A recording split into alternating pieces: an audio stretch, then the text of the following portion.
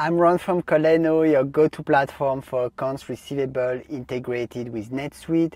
Today, I'll walk you through the process of crediting an authorized customer return.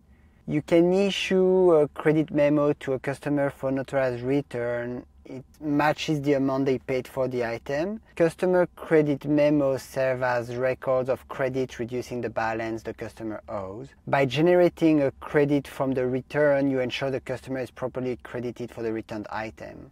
So I will go to transactions, customers, issue return authorizations, yep, and then list.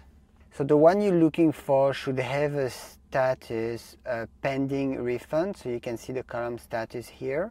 And we're looking for pending refund one. I can see this one has. Perfect. So I will click on view. So quick note here, if you find this tutorial helpful, please make sure to like the video. I would be super grateful.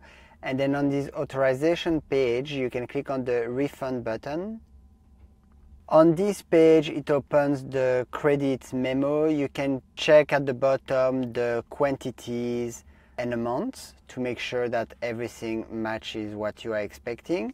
And then when you're happy, you just click save in the top left. The credit can then be applied to the customer's account or refunding depending on the situation. For more details on applying or refunding credits, please check the relevant guides. Finally, don't forget to subscribe and check the comments for more NetSuite tips. Bye bye.